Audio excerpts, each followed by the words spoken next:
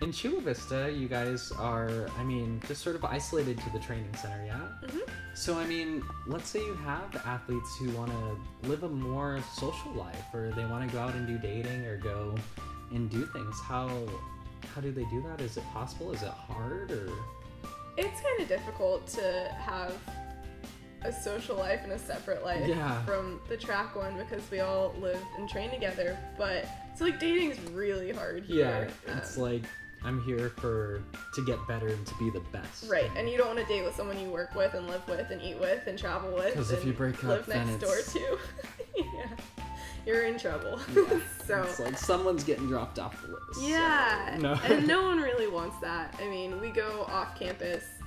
See, I even say campus. Off we campus, go yeah. off site. we go off site a lot. Um, just go out to eat and everything in the San Diego area, which is really nice. But it is Yeah. hard to Yeah. do a lot. So you live out here, and you told me you've never been to SeaWorld. Have a, is that true for a lot of the athletes, or is that? Well, I haven't been to SeaWorld since I've lived here. Yeah.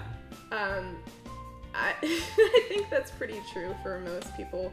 We go on breaks, but when we want, when we're getting away from here, we go far away. Yeah, you go You know. back home. Or you We go or- home, or yeah. we go visit friends, or we go back to where we came from. So, I don't think a lot of people go to SeaWorld and Disneyland and everything. Yeah, they're like, you know, I think I'm gonna see my family. Mickey Mouse can wait. and- Right, and it's something we always talk about. We always have like these vague plans to go to SeaWorld and Yeah, maybe just next month after it. nationals. Well, yeah, and it's just like, yeah.